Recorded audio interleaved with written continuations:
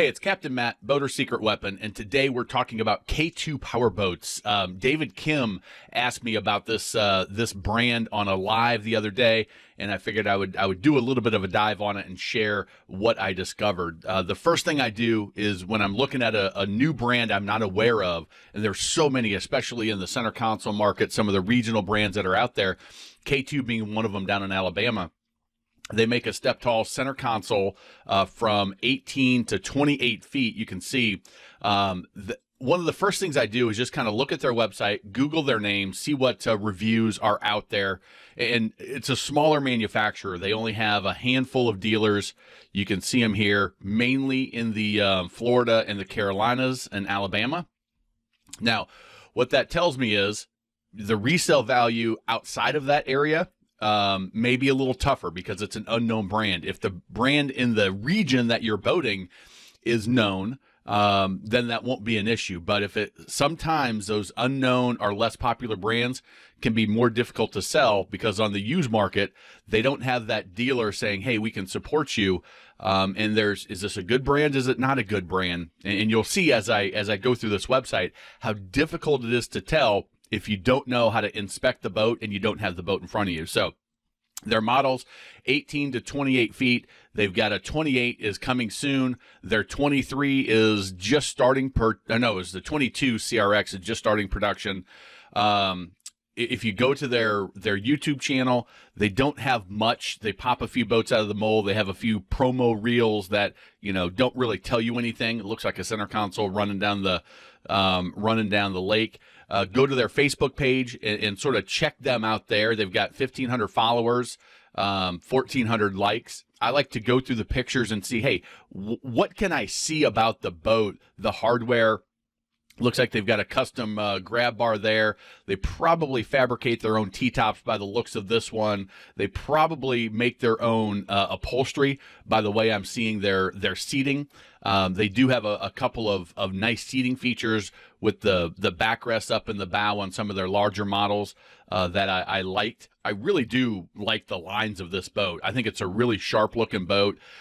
I, I can I can just sort of tell that it's a it's a well made boat. You just there's a few things that you can look at and see uh, that it's it's pretty well made, but without actually opening hatches and, and feeling how things close and how they match up, uh, looking up under some of the things, looking at the wiring, it, it's kind of hard to tell.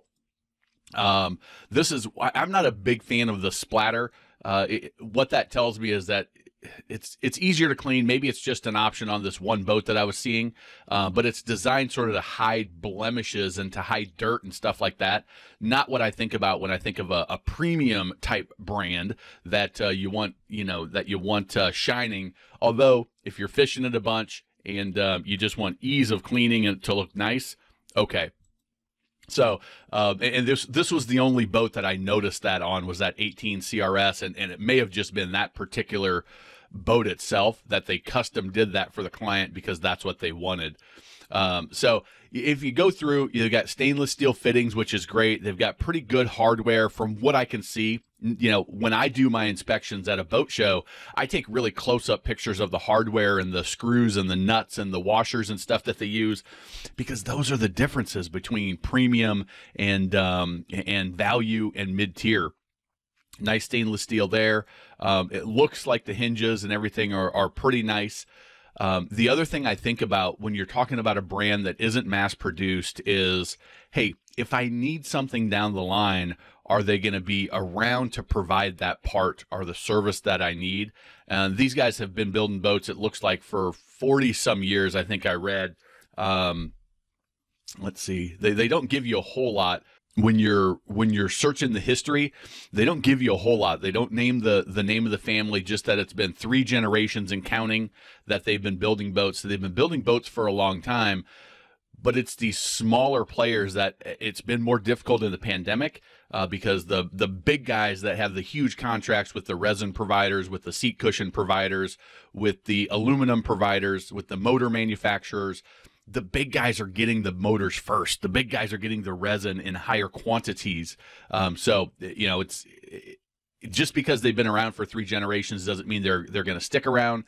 Also, sometimes when people retire, the next generation doesn't want to come along for the ride. It, it looks like this may be a father daughter, um, and she looks like the younger generation. So hopefully she's involved 100%, and um, it may be this Amy Kirkland that is on the um, on, the uh, YouTube channel, and she is the one that is is stepping up. There were a few nice comments about her in some of the Facebook posts. So overall, it looks to me like a well built boat. Um, the making sure that you have a dealer in the area is key. The other thing that I looked at just out of curiosity, because finding good labor can be difficult. And I noticed that their their lamination was starting at twelve dollars an hour. Now in my area, I don't know exactly in Dothan, Alabama what it's like, but in my area, they've got signs up saying 16 dollars an hour to work at Kentucky Fried Chicken and and uh, Chick Fil A.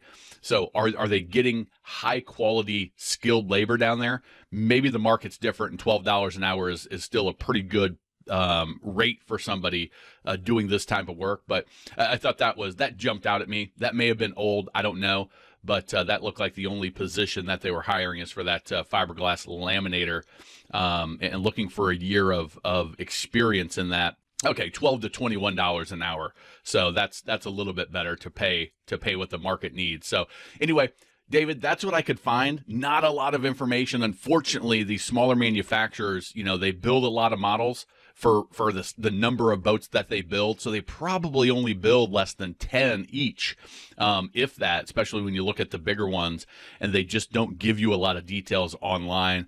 But um, but again, I, I liked what I saw so far. There's nothing that jumped out at me, and I know you were specifically looking at the 22 CRX, which is the new model coming out, and they they had this single picture, and they had one they had one short little video of of that first hole being popped out of the mold. So um, not a lot I can add there. So anyway, hope this was valuable.